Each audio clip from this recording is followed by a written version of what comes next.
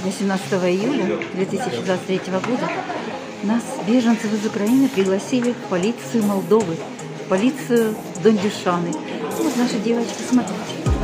Это называется чаепитие в полиции. Смотрите, какие у нас девушки красивые. За королевишны.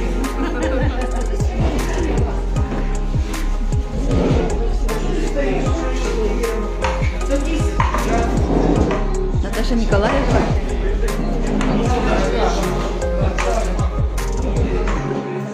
Какие настоящие богатыри. Богатыри, красота. Что такое чаепитие? Это кофе, чай, конфеты, вкусное печенье и, конечно же, наши девочки.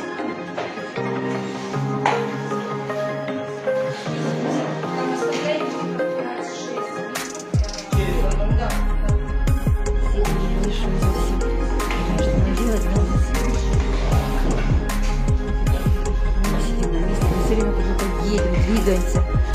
Вот Наташа Николаева улыбается мне. Привет. Наташа Горева. Девочки, а угостите меня чайком? Все, все украинки. Вот Харьковчанка Людмилка.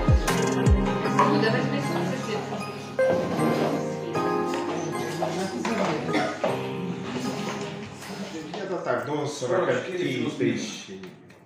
населения. Это совсем не как это вот и до. Моя обслуживающая, обслуживаемая зона получается 26 тысяч человек. Это как с Боровой, ну, видимо, это получается где-то 65% района. А были такие случаи, что э, купили дом какие-то аферисты? И вы разбирались? Не было Нету такого. Мгм. А были- такие случаи, что поселились там люди и тихонько живут? А вы раз и, и разоблачили. Нет, и такого тоже не было, потому что Там соседи же дадут. А у нас Николай. У нас на дачах это Нет, у нас э, заселяются именно, допустим, вот которые дома под примарией, есть несколько домов, которые э, на учете как были хозяева, но там по гражданскому кодексу через определенное время переходит, если не Ну, у нас тоже в Украине так. условия, как э, коммунальные, Коммунальные услуги, переходят. туда переходят под примарией, если нет законных наследников. Есть пару домов, которые поселены Да. в которых есть, есть два человека, которые при Марии, при Марии их заселили. Так как э, Спасибо, Наташа. сначала был не рад, соци- социально обеспеченные как бы вот есть. Ну, это компетенция при Марии, не наша, допустим, как бы их поселить. И мы знаем, как бы, об этих случаях, но это как бы не наша компетенция, не... А были случаи ограбления домов? Вот, Конечно, были. Да, есть такие. Кражи, не ограбления, кражи. кражи, да? Конечно, Вот есть. люди уехали, а они туда Есть, воры, есть, да? Есть, есть. Но сотрудниками уголовной полиции выявляются лица и документируются. И везде, даже у вас в стране, это у вас, и у нас, и у вас это... Да, это везде есть такие. У нас сейчас много. Ну, у вас там Сейчас уже- мародерство Да, у нас уже мародер. Называется мародерство, точно. Везде обязательно. Как в вашей стране, так и в нашей стране. Что? Только сели за руль, только сели за руль, сразу ремень безопасности пристегнут. И рядом тоже. Ну, конечно. Каждый сам за себя отвечает. Вот, Водитель, если будет пристегнут, и вы не будете как пассажир пристегнут, составит протокол вам. В других странах обязательно и сзади ставят И сзади, ремень да, безопасности. Так что это, это для человека, это не для нас, не для кого-то Для другого. Это для собственной безопасности. Мне тоже не нравится эта процедура, потому что ну, как-то ну, это, ну, надо. Скажите, а если приобрести э, машину на территории Молдавии, Вам нужно сделать доверенность. доверенность только, да? А на ней я смогу выехать дальше, в Румынию, там, ну, в Болгарию? Конечно, по доверенности. По доверенности. Мгм. Это же документ. Ну, когда у меня уже машина будет на молдавских номерах, я уже не буду оплачивать виньету. Нет, как вы можете оплачивать виньету, если она на Молдавии на молдавских номерах? Это только для Украины. Украинских. В любой стране я в вашей могу купить машину, мне сделать доверенность, хоть в Америке. Но по доверенности я могу кататься по всему Нет. А если машина с украинскими номерами, ее же растаможивают? да? Или как?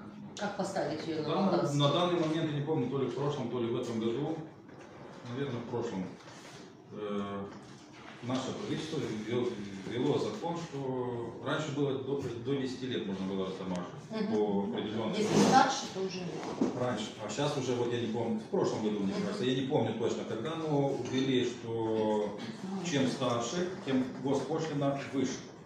Можно растормозить, даже растормаживать машину с 90-х годов, там это не Мгм. проблема, только там цена на растормошку уже будет Мгм. больше. Как Ну, то есть никак по-другому, только растамаживать, да? Ну, продайте себя в стране ее купите здесь Мурашку, допустим, Мгм. если... Как вариант, да?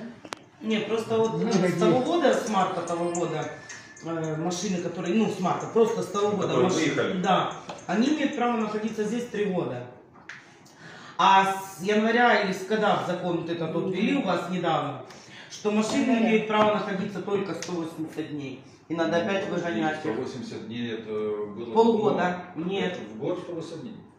Нет, я э, лично я заехала в марте 22 года. Имею право находиться на, рес- на территории Республики Молдова три года. А Наташа связи приехала С, э, это, с, э, Украина. с войной. Чрезвычайное положение? Да. Ну хорошо, но еще до сих пор длится. А на Наташу А я, сейчас... скажем, крайний раз Да. заехала в мае, то у меня получается 180 дней. Да. Ну это Я как не могу юристы вам нам ответить на этот объясняют. Временная защита, статус беженца это одно, а э, вид на жительство это другое. Имеют право только полгода здесь, полгода там. Мы, допустим, временная защита, мы имеем в течение года суммарно 45 дней выезжать в любые страны. А там только... Nu, aici e um, protecție temporară. până la data din 1 deci martie. V-ați uh, stinat de caboletinul nostru, mă cât de oligarhul și ceva. Păi, mai și eu situații care... Și o situație. Nu, nu, nu, ei sunt într-o categorie de la protecție temporară. Нам сделать кофе? Нам сделать кофе? Машину вас угоняют. Что? Машину угнали.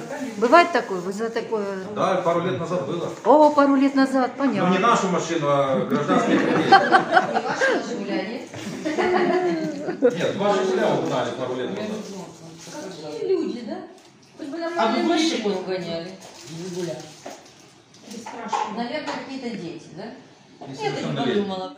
Вчера, когда нам сказали, что мы поедем к вам, я сказала, что обратно возможно вернуться не все.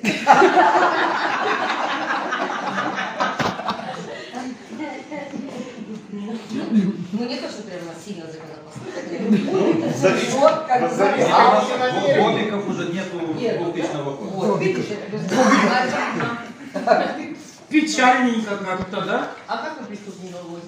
В Жигулях. Ну да, да. Есть доктора, которые имеют ресурс. А, У нас нет. В наличии есть другие случаи.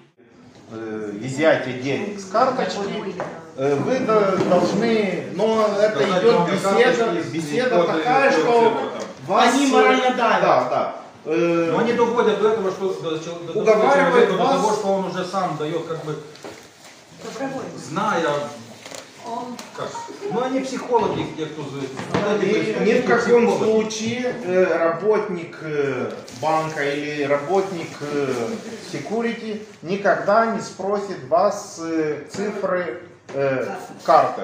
И это длинные эти э, 14 цифр, 14 там, и и те три три сзади. Никогда они не спросят. Э, Они имеют все эти данные у себя. Они могут спросить вас э, фамилию, имя или там э, какие-то другие. Последний раз, когда Да. пользовались карточкой, и, допустим, Но, но вообще они редко кому звонят. И то, что иногда появляется на экран телефона и логотип того банка, это тоже зависит э, от тех, которые звонят. Потому что они могут иметь частичная э, информация о карточке вашей. Может, украли с банка или имеют там работника и дают э, данные. И они могут иметь частичную информацию. Ваша фамилия, имя и может быть даже частичный код э, карточки. И когда вам звонит и говорит, вот э, Ваши последние Ваш, цифры там. э, ваша фамилия, имя и там пару цифр с карточек, Вы думаете, вот да, работник банка интересуется и хочет предотвратить и- изъятие денег. Но э, в этом случае самое легкое, что вы должны делать, даже если как-то дали те цифры, э, сзади карточки есть номер банка. Мгм. Э, Он идет э, не мобильный, стационарный у всех банков. Не знаю, я не видел, что был мобильный. И звоните по этому номеру. Это э, Горячая линия. э, горя- не то, что горячая, а security банка того, где вы обслуживаете карточку. И заблокируйте карточку.